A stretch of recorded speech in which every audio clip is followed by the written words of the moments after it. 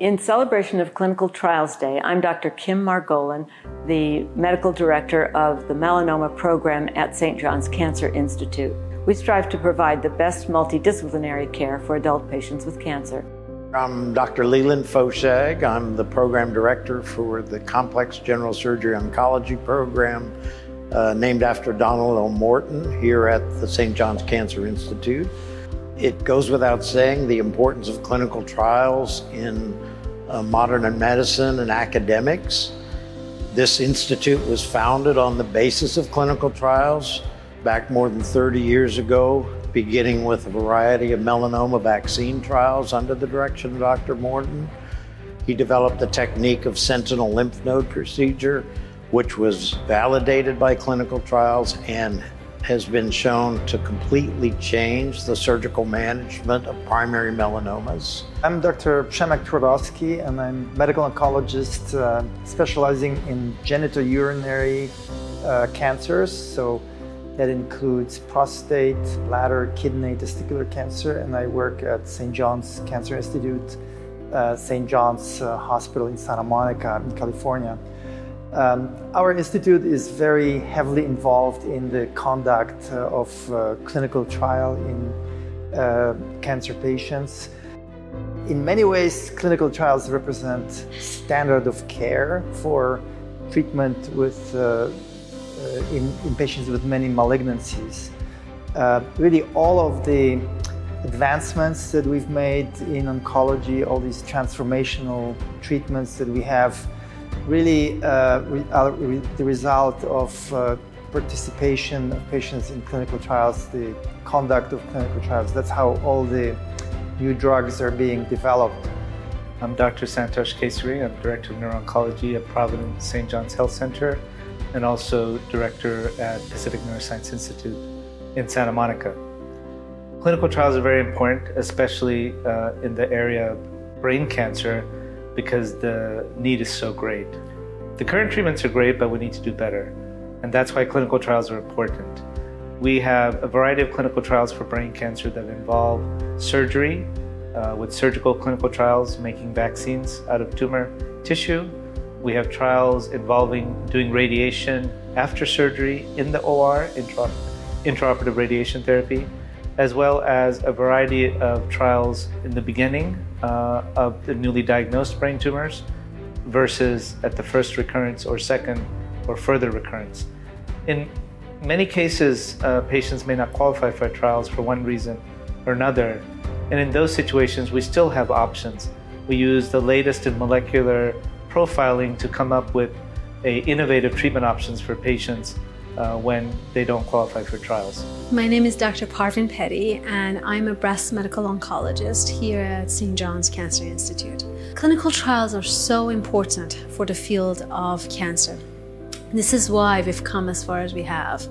Whenever a new drug is studied in the lab, the first thing you need is to actually test it out, first in a small number of patients, just to see that it's safe and make sure that it really is starting to work, and then really see in a bigger trial whether it beats what's on the market at the moment. And this is how we've made stride after stride against all cancers, and how we've made a lot of cancers from being completely incurable to now curable. And field of breast cancer especially has really benefited from clinical trials and research. It's been such an active area of research and we have medications coming out every year that are newly um, studied in a clinical trial and shown to be beneficial. Most of our clinical trials in melanoma and other skin cancers are based on some form of immunotherapy, although occasionally there is a, a role for certain kinds of targeted uh, chemotherapy drugs that are generally taken orally. There's quite a bit of interest in novel vaccines that are being developed against a variety of cancers. There's recently been a novel uh, vaccine that was developed by the Moderna company, those uh, who brought us one of the first COVID vaccines. In this case, patients' own tumor DNA is used as the source of the antigenic material from which the vaccine is made, and it acts to cause the body to make uh, its own antigens and then sensitize the immune cells against those antigens, very similar to any other kind of vaccine. it's very difficult to get the immune system to respond to a vaccine when the tumor has already become established and has essentially tolerized the immune system to fail to recognize its antigens. However, when it's given to patients uh, at high risk of developing a cancer or those who have had the cancer removed and may have no more than a, a tiny little trace of tumor in their body, those vaccines may be far more powerful. And that's the setting in which the recent mRNA vaccine from Moderna for melanoma, based on patients' own melanoma cells, was uh, reported at a recent cancer meeting and showed a benefit over standard therapy following surgery. That's only small examples of the importance of clinical trials in progressing medicine into the 22nd centuries. And I think that any of the other speakers that you hear or talk will echo the same thing in all the different areas of medicine. As far as our fellows are concerned, from the training they get in clinical trials that they base their research on, that they take to all the other venues that they go to and across the country and even into other international venues for uh, training purposes as well as furthering our clinical trials were multinational trials and it just speaks to the importance for the surgical oncology fellowship program clinical trials are particularly valuable in patients who may uh, have very advanced, heavily pretreated cancers where there's really no available uh, effective standard of care. Then um, promising experimental therapies have particularly significant uh, value in those circumstances. But this is not the only scenario uh, when clinical trials can be applicable. Uh, some of the trials that we have include patients with relatively early diagnosis of cancer when we employ the best standard of care with addition of novel experimental agent that is postulated to improve the outcomes of already existing uh, effective therapies. So there are many, many scenarios uh, in which uh, the clinical trials are applicable uh, to our patients. So, as a patient, you should always ask your doctor um, can I have access to a clinical trial? I understand this is a standard, but can something something else be tried that could be better than this? And the answer is always take the clinical trial if it's a good study, because that's an additional uh, way you have against a breast cancer or any cancer that you're dealing with, um, as opposed to what's already on the market and all could be inferior to the next best thing. Otherwise, you'll miss out, and it will be many years before that drug may actually get approval and be on the market. But if you had gone on a clinical trial, you could have benefited from it earlier. And of course, you move the field forward and you benefit many, many uh, patients that are coming after you. So clinical trials could not be any more important uh, to field of cancer. Um, so it's critical that patients be offered this and discuss with their doctors what is the trial they can enroll in, and we have many here that are open at St. John's for breast cancer patients, whether with new immunotherapy drugs, whether with new vaccines. Um, and it's exciting. It's exciting to be a part of it as an investigator and exciting to be able to offer that to patients. So, as a physician and as a scientist, we uh, participate in clinical trials. We have a great team of doctors, nurse practitioners, uh, physician assistants, and research coordinators that help us through the whole process of identifying patients, discussing with patients options, and then starting the formal process of enrolling in a clinical trial. Uh, my name's Emma Chacon. I'm a research nurse here at St. John's Cancer Institute. I work for the principal investigators here running our clinical trials, and I manage our patient care for anyone who's enrolled into a trial. What that can look like is starting off by giving patients a consultation, giving them all the information that they need to decide if this is the study that they want to do.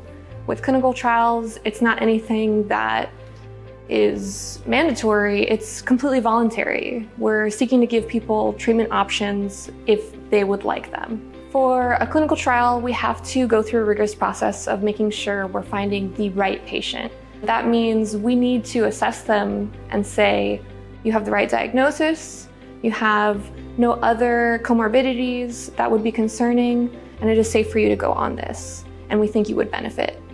And as a physician, I guide the patients in terms of what the options are uh, that are available currently for each particular patient, whether it's at our site or through our network of hospitals in, uh, in Providence, Southern California. We have trials at multiple different institutions at Providence here. So that's really the main uh, approach is really to see us and we'll help you identify options. We're actively recruiting trials across all of the stages. We have a trial that is randomized three ways for patients who've already had their melanoma and draining lymph nodes removed if they're felt to be at a certain level of risk of relapse. We have uh, studies of intralesional therapy and studies of um, the novel imaging uh, PET scan. We also have second and third line studies for patients who don't get into a long term remission from their first line of treatment, and those involve some of these novel cytokines, such as I mentioned earlier, and uh, another vaccine and a lesional th- uh, injected therapy. So, we are enrolling in multiple breast cancer trials uh, right now. Some are with a new imaging modality for breast cancer patients. Um, another one is with a new immunotherapy drug for triple negative breast cancer patients who don't qualify and cannot get any benefit from the immunotherapy drugs that are currently on the market. And we also have a trial with a vaccine before surgery. So those are some of our active trials right now, and there's always going to be newer ones and uh, ones that we add. So it's important for the patients to ask and inquire um, because you don't lose anything and you have everything to gain by enrolling in a clinical study. We very well will uh, approach them for samples, from blood samples to tumor samples, uh, participate in surveillance. We have genetics clinical trials going on for high risk patients. There's a myriad of things that anybody who comes in, in some cases even without a diagnosis of cancer, but in most cases who've had cancer, in some cases early stages, some cases late stages, are asked to participate in a clinical research program. The, the clinical trial is really my main focus as far as um, clinical research. It's, I think, the most exciting part of oncology when you can participate in the process of um, development of new exciting compounds and kind of push the field forward. This is only the only really mechanism in existence that allows development and ultimately approval of, uh, of new drugs for, for cancer uh, for our patients. So it's a vitally important area. Even in trials that don't work, there are a subset of patients that do respond very well. And as we open more trials, the more options we give patients, the more chances a patient has to respond to something. Because until we do the trial, we don't know what the benefit is. And I think that's the exciting and the anxiety provoking part of any clinical trial for the doctor as well as the patient uh, because of the uncertainty. But many of these trials, I feel over the years, have helped some patients and participating in trials. What we're learning is that every person is unique. They have, the tumors are different. Even though they're called the same thing, they have different tumor markers. And the drugs that we're developing are really uh, targeted therapeutics and immunotherapy. So they really uh, select for uh, patients who have certain markers. And uh, as we do more trials, we find out that some patients respond better than others because of those markers. And sometimes we know it before, sometimes it's not till the study is done. So, the bottom line is if you've been diagnosed with cancer, and it could be any cancer, not just breast cancer, any cancer, ask your doctor, yes, this is the plan you've proposed to me, but is there a clinical study that could build on that, could potentially be better, that would make sense for me. And that would be just one more option that you have. And a lot of times it could be a better option because most studies are designed in a way that you would get more, not the less, than what you would be standard of care. If you're worried, if you're anxious, if you're not quite sure if a clinical trial is what's right for you, you never have to make that commitment on the day you talk to your doctor about it. It's something that is voluntary, it's something you can withdraw from at any time. It's not a commitment that is for the rest of your life. We want to make sure that we're giving you what you want. So feel free to just ask about them, get some information, and your decisions about your body should be informed. We appreciate our patients' participation in clinical trials for their own benefit, of course, but also for other future patients that benefit from that. that. That's the only method that we really have for development of uh, new um, agents, new drugs for, for cancer patients. Uh, that's how these drugs can ultimately uh, end up being approved and widely used. They have to be tested in a very sophisticated, um, robust way, which, which really the clinical trial platform um, allows us to do. So here at St. John's Cancer Institute, our goal is not just to further medicine, find new discoveries, we're also looking to take care of our patients. That is what we have at the forefront. So anybody who's possibly on the fence about whether or not they want to participate in a clinical trial, my advice is go out there and talk to somebody. Talk to me, find a study that works for you on clinicaltrials.gov. The more information you have, the more confident you can be that you're making the right choice.